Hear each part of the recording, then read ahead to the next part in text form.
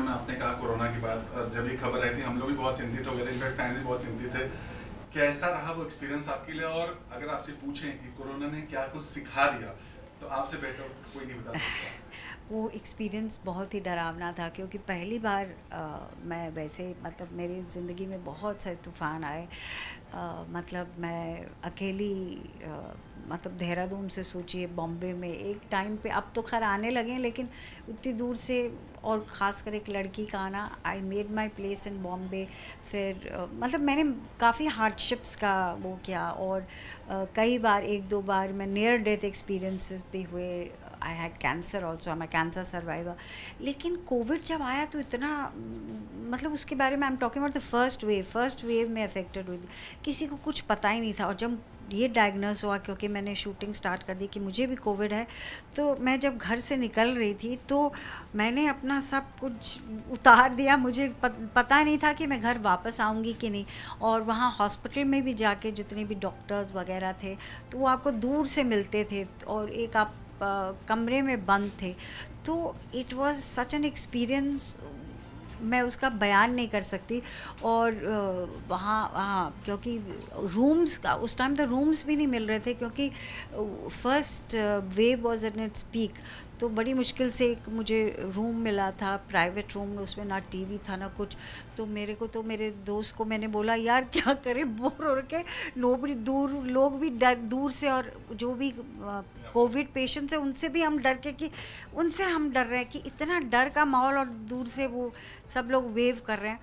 तो क्या आ, आ, उसने बोला कि यार तू क्या कर अपना एक्सपीरियंस लिख दे। तो मैंने फटाक से कविता एक लिख डाली और मैंने उसको आ, मीडिया में डाला जो कि बहुत वायरल हो गई थी वो कविता कि मैंने उसको चैलेंज किया कोविड को।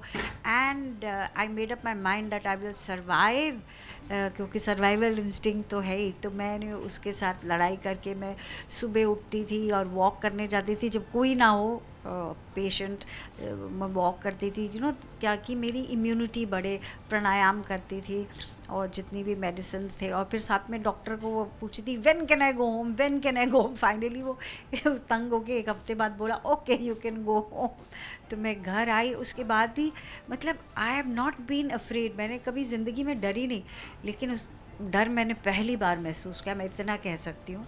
और जो सीखा है कि कोविड ने मुझे ही नहीं मुझे लगता सब कुछ सिखाया कि जो चीज़ें सबसे ज़्यादा ज़रूरी है। क्योंकि आप घर में थे इतनी सारी कपड़े इतनी सारी सहूलियतें लेकिन किसी काम के नहीं।